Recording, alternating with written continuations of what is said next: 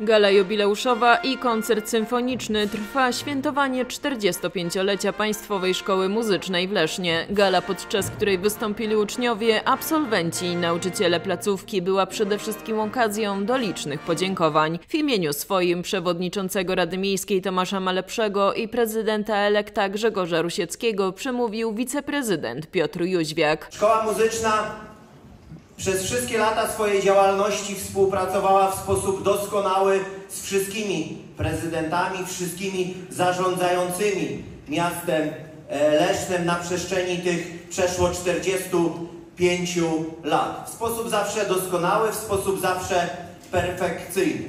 Ale jakże mogłoby być inaczej, szanowni państwo, bo przecież szkoła wpisała się na trwałe w historię naszego miasta. Podziękowania otrzymali emerytowani pracownicy szkoły. Artur Matejuk, starszy wizytator regionu wielkopolskiego, wręczył nagrody dyrektora Centrum Edukacji Artystycznej w Warszawie. Dla mecenasów i przyjaciół szkoły przygotowano sześć statuetek Janko Muzykanta. Nauczyciele i pracownicy otrzymali z kolei nagrody dyrektora szkoły. 45-lecie celebrowane było serią koncertów. Ostatnim będzie koncert plenerowy zaplanowany na 9 czerwca.